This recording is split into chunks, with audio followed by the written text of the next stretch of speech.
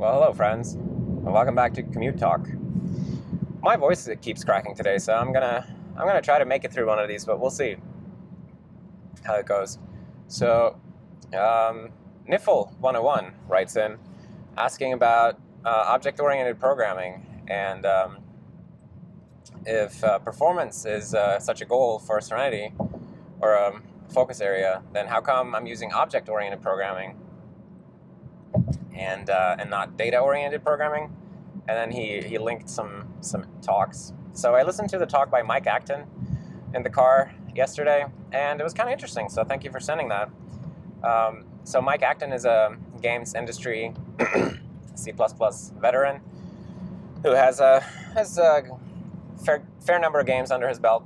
So he clearly he clearly knows what he's talking about, and he talks at length about um, organizing your programs around data locality, basically, or organizing around data instead of organizing around your mental model of the program.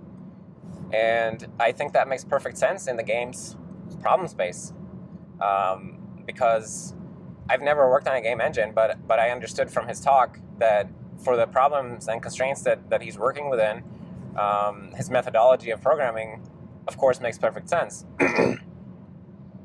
um, now, the main the main differences that I see to to what I do uh, is that number one, I don't have a one year shipping um, like hard uh, deadline, um, and I think that that's something that you have to you have to keep in mind when when you listen to a talk like this. Like this guy, he has to ship within a year, so he comes at it from a very different angle than most people. Um, and then um, with games, um, he's uh, he's working with huge amounts of, of data that's like often like very uniform data. There's like lots and lots of um, objects, and he wants to like visit all of them and do the same thing to all of them or inspect all of them somehow. And I mean that's that's kind of uh, uh, it sounds generic, but uh, but the access patterns that he talks about they they sound very uh, repetitive, and um, it makes perfect sense that they would be memory bound. Um, and that you could gain a lot of performance by improving the cache hit rate. Um, and I think I think that there's a there's a, a, fair amount of interesting things to learn from what he was talking about, and and I certainly this is definitely something that I um, care about, and I would I would try to apply where it makes sense, but. Um, as I see it, the main benefit of object orientation is precisely that you um, you sort of codify your mental model of the program into the into the program because that makes the program maintainable for far longer than a year. Um, like I'm writing software that I want to keep working on for the next 30, 40, 50, 60 years, right? So to me, it doesn't make sense to organize my code around um, like data locality so that I can get good performance on the current generation consoles. And and I, I don't I don't mean to um, be dismissive of, of what he's talking about because I think it makes absolute perfect sense for his problem space. But I can also tell that Mike has been in the same problem space for a long time. And uh, that happens to all of us. Like when we are stuck in a problem space for a long, long time, like I was in the web browser problem space for a long time, and it made me uh, build up this this reality around uh, my way of thinking that was uh, constrained by uh, things I knew to be true because I had verified them over and over and over again within that problem space. Um, but I think you can you can see in the video at the end where he does a Q&A and then someone asks him, someone comes up and asks him um, that, hey, I work in uh, business application development and uh, I don't really have these problems that you do. So, um, uh, like, uh, but, but uh, I don't remember exactly what the question is, but that, that's the first part that he says. And then uh, the speaker immediately is just unable to relate to him. He just says, like, well, if I were in your shoes, I would still think the way that I do.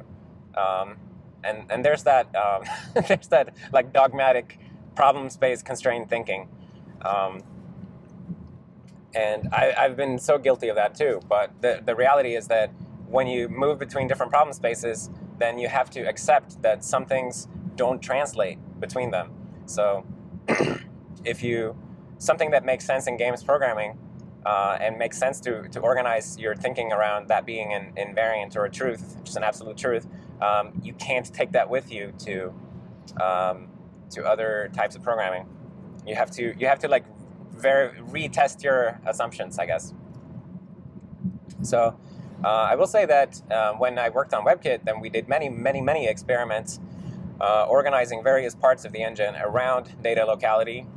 Um, we had various data structures that were kind of disjoint in RAM, and uh, we tried uh, putting them next to each other.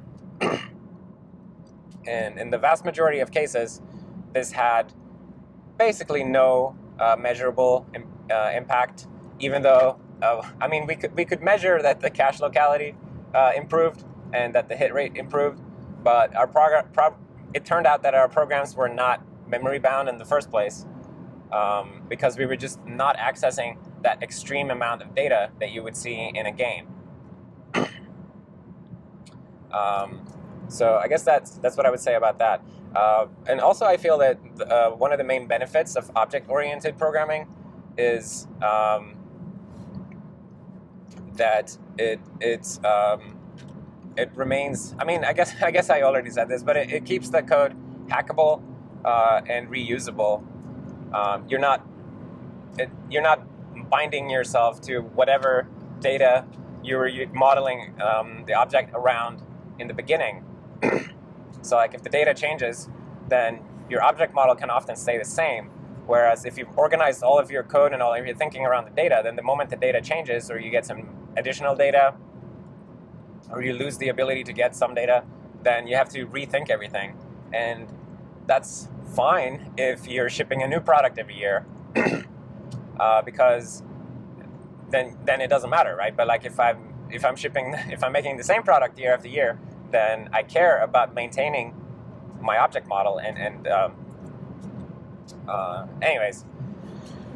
Um, uh, but so I, I think that that what he talks about it makes sense, but but is an optimization technique. It's not um, it's not a dogmatic principle to organize your programming around for me, um, and and people should I mean people should verify for themselves what is what are the best principles to organize your programming around. What are the truths in your problem space? Um, so I don't know, but I, I still like to talk, and I enjoyed it. Uh, and uh, I recognize the way that he talks because I've listened to people like that, and this is the kind of talk that turns young, uh, inexperienced programmers into uh, dogmatic warriors. And uh,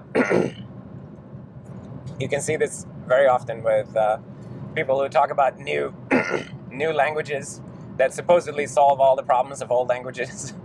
Uh, they just get so convinced because some really convincing guy got up on stage and, and talked to them about it.